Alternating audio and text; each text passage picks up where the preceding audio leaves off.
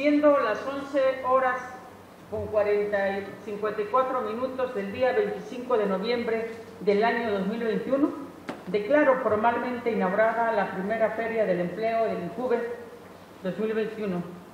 Que viva Acapulco, pero que vivan los jóvenes. Buenos días.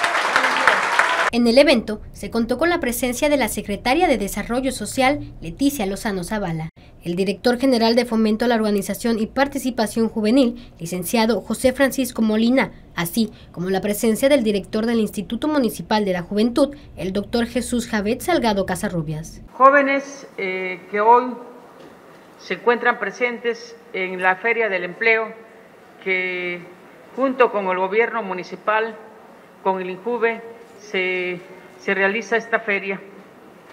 Quiero compartir con ustedes que hablar de jóvenes es hablar de casi 30.7 millones de jóvenes entre 15 a 29 años de edad, que representan el 24.6% del total de los habitantes. Le hago una, un reconocimiento a la doctora Belina López Rodríguez por su buen trabajo que ha desempeñado en el Poder Ejecutivo en el municipio de Acapulco y precisamente también al director de INCUBE, ¿verdad? Jesús Javier, eh, cómo ha apoyado o impulsado para que más jóvenes, precisamente profesionales, o que están desarrollándose en esos ciertos ámbitos de las profesiones que hayan adquirido, eh, impulsarlos para que sean mejores trabajadores, profesionistas, eh, y precisamente crear este tipo de instituciones, dependencias, tanto municipales como la estatal. Es así como comenzó la Feria de Empleo en la cual se busca que los jóvenes acapulqueños y guerrerenses